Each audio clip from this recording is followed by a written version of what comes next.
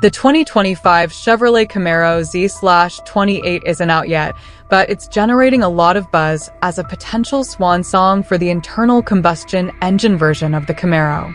Performance focus. Asterisk expect a 5.5-liter V8 engine with a ballpark of 670 horsepower. 3. Asterisk the chassis is expected to be sharp and trackworthy with Multimatic spool valve dampers and Brembo carbon ceramic brakes. 1 3. Asterisk weight reduction is a priority, with rumors of carbon fiber use and removal of sound deadening material. 5. Limited production. Asterisk production numbers are speculated to be low, possibly around 1,000 units. 1. Design. Asterisk the design should blend modern Camaro looks with nods to past Z-28S. 3.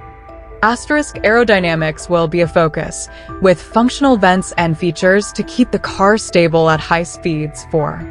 Asterisk the interior will likely be driver-centric, with minimal frills and a focus on performance essentials. 4. Overall significance. Asterisk this Z slash 28 might be the last hurrah for a gasoline-powered Camaro, making it a potential collector's item. 1. 3. It's important to remember that these are predictions based on rumors. However, the prospect of a high-performance, limited edition Camaro Z slash 28 has car enthusiasts excited. Keep an eye out for official news from Chevrolet.